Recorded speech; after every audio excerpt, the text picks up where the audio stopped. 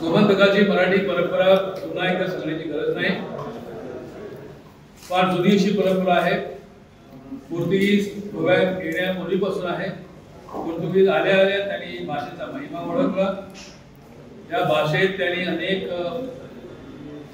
साहित्य कृती निर्माण केल्या. आणि कालांतराने आपल्या भाषेला शासकीय व्यवहाराची भाषा म्हणजेच राजभाषा हे विरुद्धही आपल्या भाषेला ह्या पार्श्वभूमीवर गोमंतकी जनता जनतेला फार मोठं कार्य करायचं आहे. माझ्या मते हे कार्य म्हणजे सर्वप्रथम मराठी भाषा संस्कृती आपल्याला जपायची आहे वृद्धिंगत करायची आहे समृद्ध करायची आहे.